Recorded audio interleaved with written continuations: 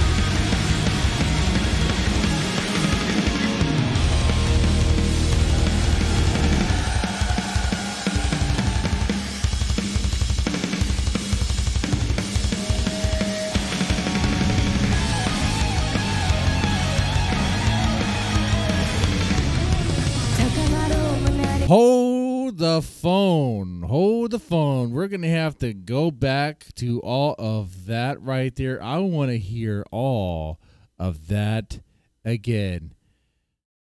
Oh my God. And I asked you to spot one thing that's just really amazing about this song. This is it. This part of it, huh? Right? By the way, I love how uh, Kanami's guitar sounds here, especially in the solos. It sounds so good. The uh, I, I think part of it's coming from like the acoustics in the room there. I think I, it's just it sounds. Oh, it just sounds good. Okay. Anyway.